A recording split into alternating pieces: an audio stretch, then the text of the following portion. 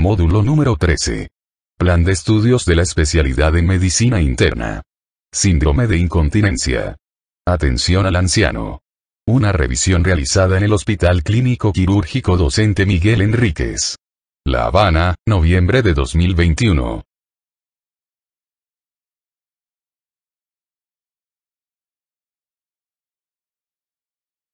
Contenido. Concepto. Clasificación. Etiología. Cuadro clínico. Exámenes complementarios. Diagnóstico. Tratamiento. Complicaciones.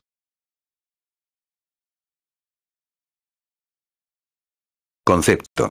La incontinencia urinaria se puede definir como la pérdida involuntaria de orina que puede demostrarse de forma objetiva.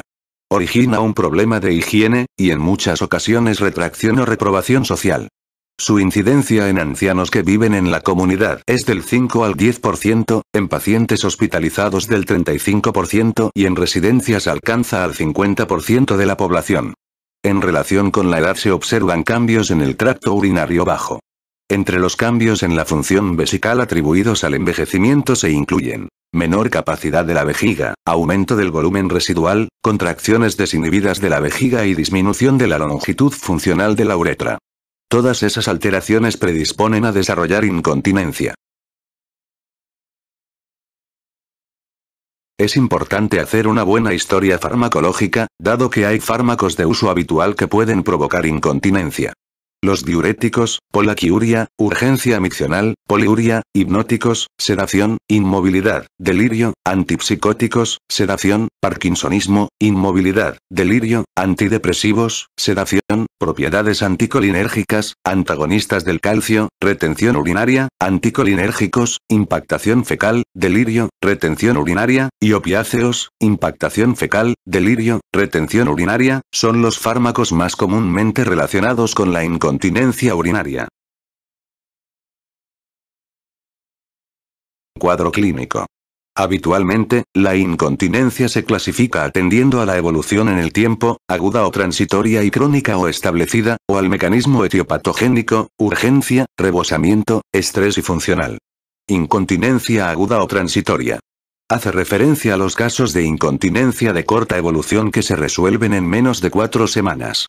En el 50% de los ancianos hospitalizados que presentan incontinencia, esta es de tipo reversible, mientras que el 33% de los que viven en la comunidad refieren de forma ocasional pérdidas de orina transitorias.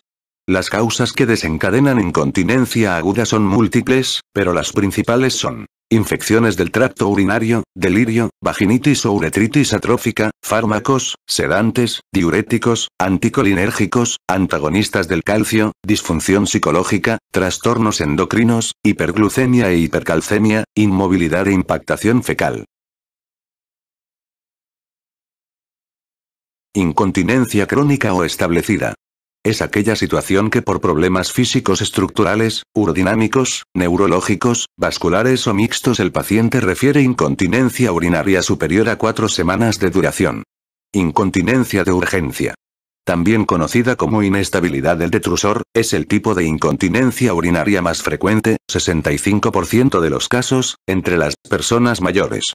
Esta incontinencia se produce cuando las contracciones no inhibidas del detrusor superan la resistencia de la uretra, lo que permite la pérdida de pequeñas cantidades de orina. Los ancianos presentan urgencia súbita de orinar y un residuo posmiccional inferior a 50 mililitros. Básicamente, existen cuatro mecanismos responsables de este tipo de incontinencia. Defectos en la regulación por parte del sistema nervioso central, obstrucción del tracto urinario inferior, alteración orgánica de la vejiga e inestabilidad idiopática. La hiperactividad del detrusor asociada a deterioro de la contractilidad, entidad escrita recientemente, es desde el punto de vista urodinámico un subtipo de inestabilidad del detrusor. Es una causa de incontinencia urinaria preponderante entre los ancianos ingresados. Incontinencia por rebosamiento. Ocurre cuando la presión de llenado vesical excede a la uretral, pero solo con grandes volúmenes de orina dentro de la vejiga.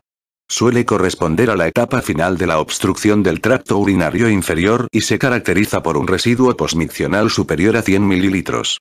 Los síntomas más frecuentes son dificultad para iniciar la micción, sensación de micción incompleta, episodios de retención urinaria y, en ocasiones, ausencia de deseo miccional. Los escapes de orina suelen ser de escaso volumen. En muchas ocasiones, para iniciar la micción hay que recurrir a maniobras para incrementar la presión abdominal.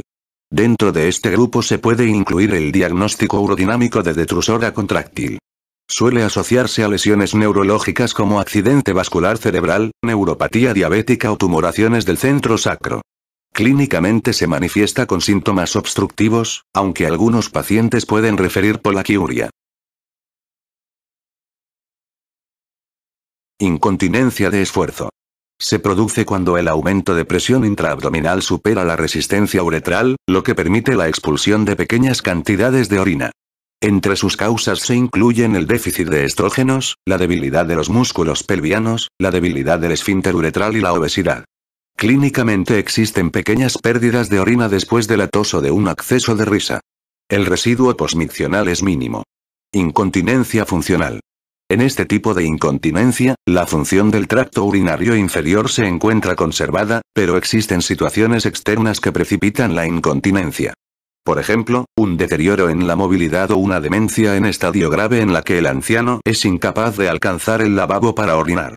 Existen situaciones variadas que contribuyen a este tipo de incontinencia, entre ellas, depresión, hostilidad, alteraciones musculoesqueléticas, ausencia de iluminación en la habitación, etc. Diagnóstico. Comenzar por una historia clínica completa que incluya valoración física, psíquica y análisis generales de sangre y orina. En la exploración física se prestará especial atención a la sensibilidad anal y perianal, con observación del introito vulvar, evaluación prostática, motricidad y reflejos como el bulbo cavernoso o el cremastérico. Se recomienda una valoración del residuo posmiccional de todo anciano con incontinencia y se sugiere el estudio urológico en pacientes con más de 100 mililitros. El estudio urodinámico formal, cistomanometría, flujometría, prueba de presión de trusor flujo miccional, perfil uretral, habitualmente no se realiza durante la evaluación inicial. Las indicaciones para la práctica de este estudio son incontinencia tras cirugía prostática, antes de cirugía de la incontinencia, ausencia de respuesta médica, aumento del residuo posmiccional y existencia de dudas diagnósticas. Tratamiento. Los programas terapéuticos deben ser individualizados en función del paciente y de la situación fisiopatológica. Incontinencia de urgencia Los tratamientos básicos de este tipo de incontinencia incluyen los farmacológicos y la terapia de comportamiento. Los fármacos anticolinérgicos y los relajantes de músculo liso son las principales opciones con la finalidad de reducir las contracciones no inhibidas del detrusor. La oxibutinina, fármaco de propiedades anticolinérgicas y relajante muscular, 2,5 miligramos cada 8 a 12 horas, y la torterodina, antimuscarínico selectivo de los receptores vesicales, 2 a 4 miligramos cada 12 horas, y la solifenacina, 5 miligramos cada 12 horas, son los más utilizados. Las técnicas de comportamiento incluyen entrenamiento de hábitos, continencia y reentrenamiento vesical. Requieren que el anciano tenga un nivel funcional elevado y esté motivado. Las técnicas de biorretroacción intentan evitar la incontinencia alterando las respuestas fisiológicas de la vejiga y la musculatura del suelo pélvico. Una última opción con resultados esperanzadores es la estimulación eléctrica. Incontinencia por rebosamiento. En casos de obstrucción prostática se realizará una prostatectomía. En las situaciones de obstrucción de la uretra distal en el sexo femenino se procederá a dilataciones uretrales o a uretrotomía endoscópica.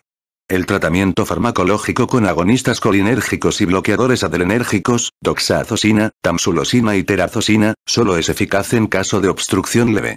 No han mostrado beneficios valorables los inhibidores de la alfa-reductasa.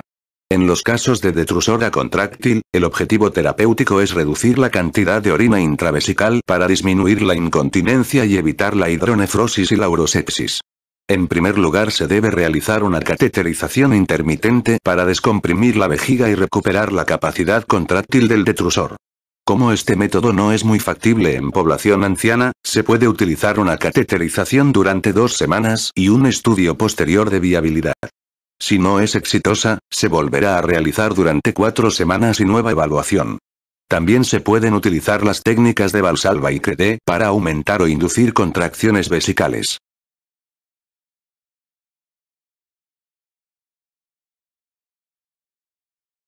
Incontinencia de esfuerzo. El tratamiento no quirúrgico incluye pérdida de peso en pacientes obesos, técnicas de actuación sobre el suelo pélvico, utilización de conos vaginales y técnicas de biorretroacción, biosfeedback. Estos métodos requieren la colaboración del paciente. Las contracciones repetidas de los músculos del suelo pelviano mejoran la incontinencia de estrés en el 60% de los pacientes. Estos ejercicios han de realizarse varias veces al día, 100 repeticiones o más, y pueden transcurrir de 2 a 9 meses antes de que se aprecie su efecto. La estimulación eléctrica del suelo pelviano con corriente farádica puede ser útil en algunos casos. Los tapones uretrales se están desarrollando como terapia coadyuvante para este tipo de incontinencia. Se requiere un alto grado de destreza manual para su implantación. El tratamiento farmacológico está basado en la utilización de adrenérgicos, pseudoefedrina, 15 a 30 miligramos cada 6 u 8 horas, y estrógenos por vía oral o vaginal. La duloxetina, inhibidor mixto de la serotonina y la noradrenalina, es un antidepresivo que se ha mostrado eficaz en estos casos. El tratamiento quirúrgico consiste en la elevación de la unión uretrovesical hacia una situación intraabdominal por encima del pubis. Con estas técnicas quirúrgicas se alcanza un éxito del 70 al 90% en el primer año. Posteriormente, el nivel de éxito terapéutico va disminuyendo. En ocasiones solo es posible tratar la incontinencia con el empleo de colectores externos, compresas y otros materiales con propiedades absorbentes.